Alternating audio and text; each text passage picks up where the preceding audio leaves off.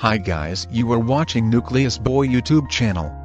Today in this video I am going to tell you 5 awesome facts about Assassin's Creed 1. So without wasting any more time, subscribe. Let's roll the intro.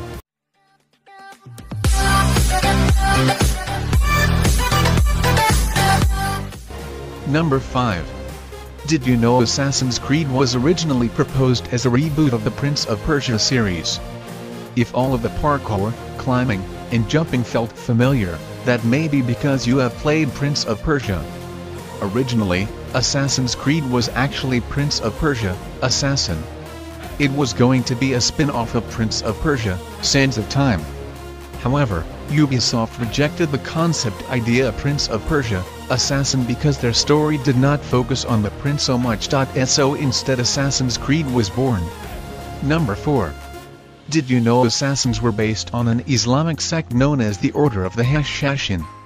You have to be a history buff or a major Assassin's Creed nerd in order to know about this fact. The order from the first game is based on a real group called the Nazari Ismailis Ashashin, an order that existed far back in history. They were located in Syria and Persia and opposed the Seljuk Turks.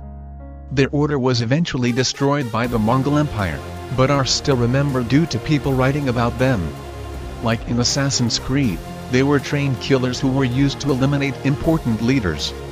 Besides that though, they are a highly fictionalized version of the real group. Number 3. Did you know why Altair was unable to swim? The in-game fact is that Altair could swim.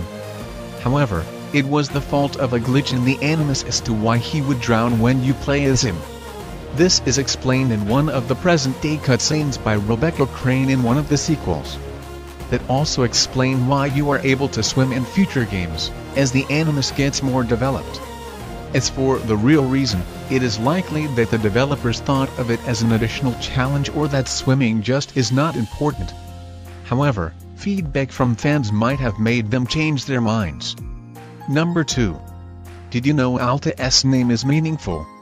Altair's full name is Altair ibn La'Ahad, which means the bird and son of None. Any fan would immediately realize how meaningful that name is for his character. First of all, birds are a big part of the series. They are symbols to assassins and often mark the safe places to jump and hide.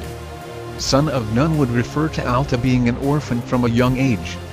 He was raised by the Assassin's Guild. Number 1. Did you know Masyaf is a real place? Masyaf is a city in northwest Syria. The real part that fans imagine when they hear Masyaf is the castle, which also exists. It was also controlled by assassins for a time, particularly those who were part of the Nazari Ismailis sect. So it may have more in common with the game than you would think. The castle can be visited today, as there was a restoration project of it from 2000 to 2006.